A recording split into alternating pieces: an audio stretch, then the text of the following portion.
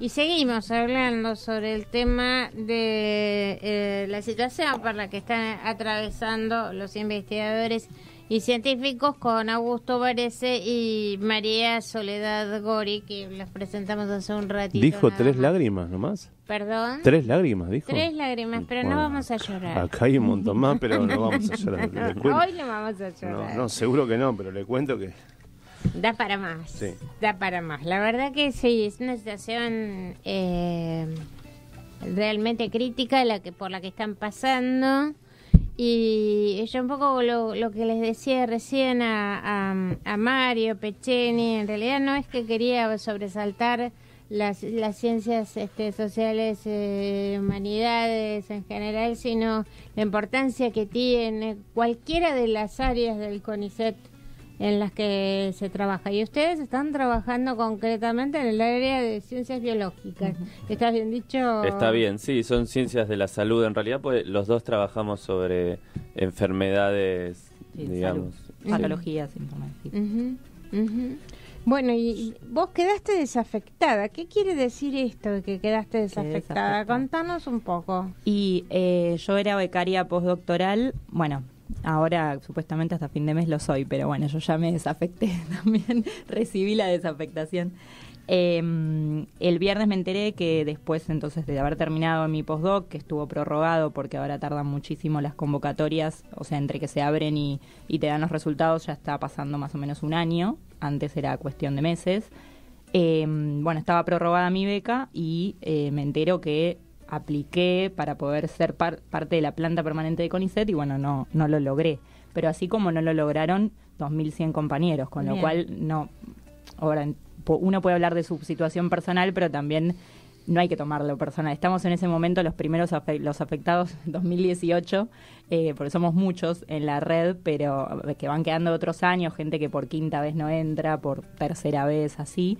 Eh, y la verdad es que mm, lo primero que nos dijeron es eso, chicos, no lo tomen personal, no es el punto de, de, los- de cuánto currículum tiene cada uno, cuánto más puede hacer, porque la verdad es que está gente con, no sé, cuatro publicaciones de primera, que es algo que es eh, eh, casi inaudito en doctorado y postdoctorado, o Que sea, son muchas es que es publicaciones. brutal. Esta es la verdad. Sí, gente con 94 puntos, 98 puntos, depende del área, que no entró. O sea, ¿cuánto más podés hacer? sobre un examen de 100, De digamos. 100, de o sea, 100, claro. Entonces, brillante. claro, o sea que por eso no es que hay que ponerse a puntuar y, y claramente, sí, yo podría haber tenido alguna que otra cosa más, pero la verdad es que se sabía eh, que iban a ser muy pocos, con lo cual los criterios fueron distintos a, otros, a otras veces que tampoco también son desconocidos. Nunca lo sabemos, los criterios de evaluación antes de que nos evalúen. La verdad que eso también hay que, si no, pedir una vista de expediente, reconsideración, etcétera, para poder saber qué es eh, lo que- cómo te evaluaron, básicamente, qué es lo que uno siempre quiere saber para mejorar, ¿no? Y eso tampoco siempre hubo irregularidades en ese sentido en el sistema.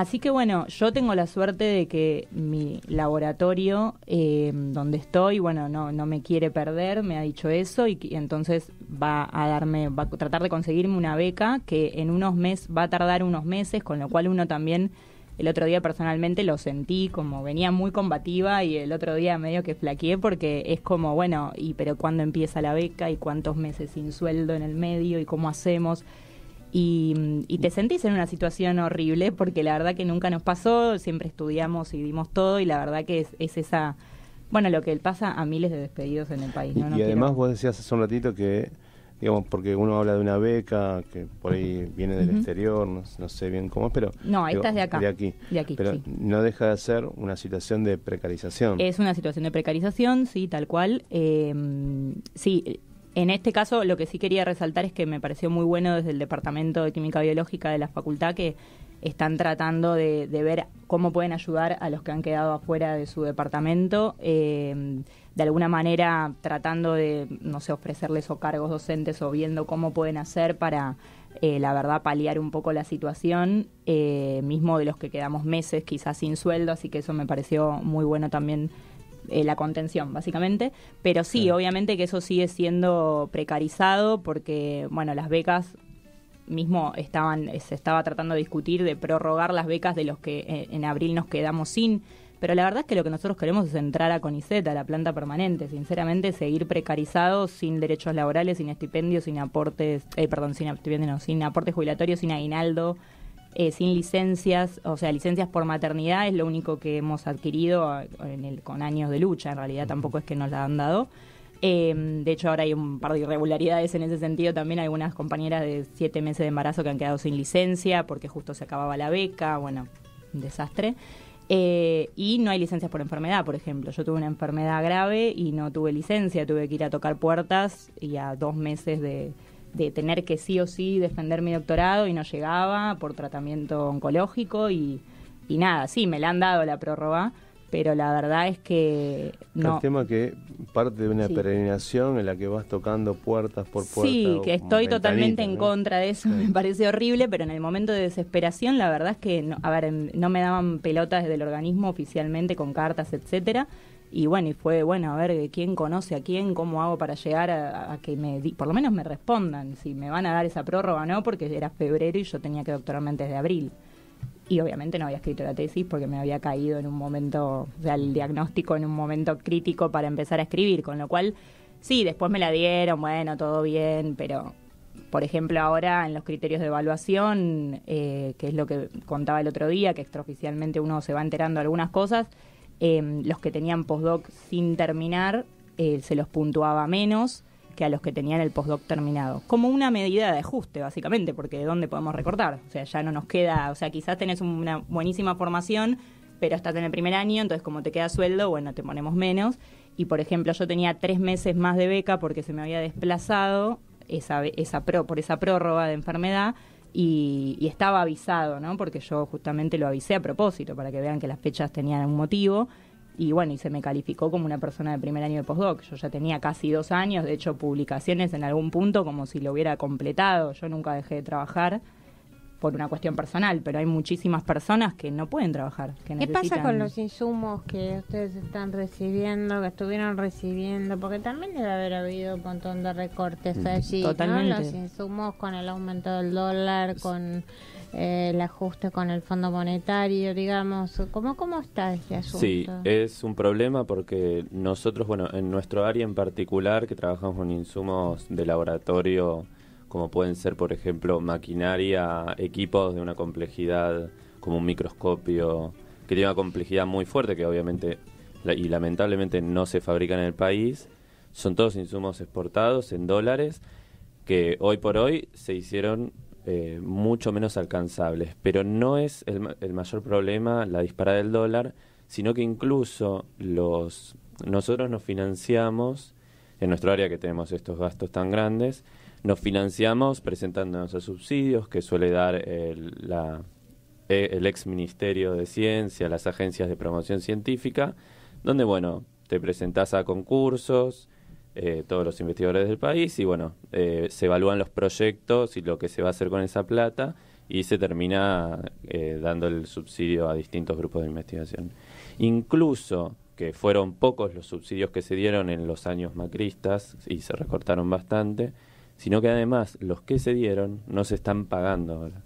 Entonces, es una situación, y, y yendo a lo personal, un poco, porque me parece que con nuestras dos historias eh, explica muy bien lo que está pasando en el sistema científico y yo siento que hablo de mí, pero hablo de todos mis compañeros de laboratorio, hablo de todos mis colegas en todas las áreas, porque están viviendo lo mismo, es que no solo te están pidiendo que tengas un currículum alucinante, digamos, porque si entraron, si nos ponemos a pensar cuántos, eh, entraron 28 personas en, en todo salud, en todo el país, eh, de las 2.000 que se, bueno, de, la cantidad enorme que se habían presentado, con estos dictámenes de 94 puntos sobre 100 o más, eh, te piden un nivel de exigencia, vos tenés que hacer tantísimos experimentos de tal calidad para realmente seguir cobrando. O sea, ni siquiera es que estamos pidiendo una promoción en términos eh, monetarios, sino para subsistir en este sistema. Sí, que tampoco tendrías asegurado porque estás hablando de, digamos, de unas especializaciones, unas formaciones increíbles, de unas calificaciones increíbles y como el sistema eh, es de un ajuste brutal y además es tan perverso y cínico. Entonces, si vos haces algo más para alcanzar ese algo que se está pidiendo, seguramente cuando llegues a ese algo más te vas a decir, no, es un poquitito más arriba. Sí, sí, sí, porque es la, porque la política es la del ajuste. Entonces, nosotros podemos hablar de, de si hay un plan de se pide una excelencia. No, no. Es que, es que los recursos de ciencia se retiraron, como se retiraron de muchísimas áreas del país, como se retira de educación, como se retira de un montón de, de áreas. Lo cual no es un justificativo. No es un justificativo. No, no, no, no, O sea, no, es que, bueno, porque lo escuchamos, lo leímos a Lino Barañao el domingo, ¿no? Y bueno, en todos, lados se recorta, también se recorta en ciencia y tecnología. Y bueno, este, un ministro o un secretario hoy que viene de una gestión anterior donde la verdad es que fue absolutamente diferente eh, como concepto de, ciencia y tecnología para nuestro país y como, digamos, ya solamente pensar en el, en el plan, el programa Raíces, ¿no? Que, trajo al país, no sé, como mil o mil quinientos. Sí, de hecho es gracioso porque ahora, aunque les dieses una beca a la gente que, que está afuera y quiere volver, que, que, quiere volver a su país porque se fue a formar y quiere volver y quiere traer todo eso para la sociedad argentina, Ahora, si vuelve, igual no puede. No puede. Igual ni siquiera le están dando la beca. O sea, ni, siquiera le están dando el ingreso al sistema científico. Pero aunque volviese, no, no podría, porque se decidió que la ciencia en este país no se hace. es, esa es la... Y es y gente como yo, que yo empecé mi doctorado en 2015, pero empecé a estudiar ciencia en 2012, y estamos en 2019.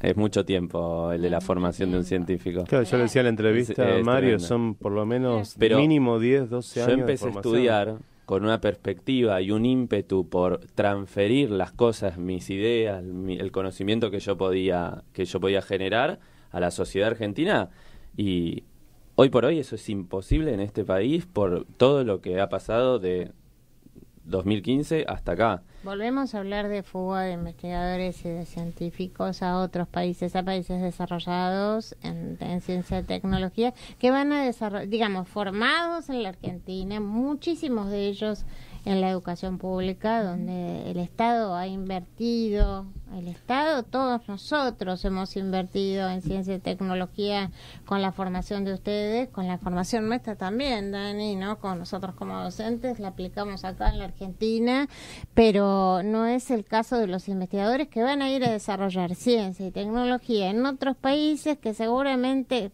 por supuesto, merecen eh, todo nuestro respeto, pero bueno, el mm. Estado ha invertido y es justo que el Estado vuelva a invertir para que eh, esa ciencia y tecnología se aplique acá para el bienestar de, de, nuestro pueblo. Y quiero hacer una...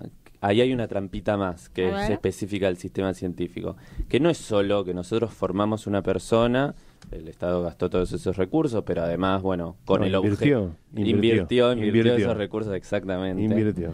Eh, porque vuelven potenciados también. Seguro. Eh, sino que además, esa persona no solo se va a otro país, sino que además va a investigar cosas que decide ese otro país. Mm. Y por ejemplo, enfermedades como, como dengue.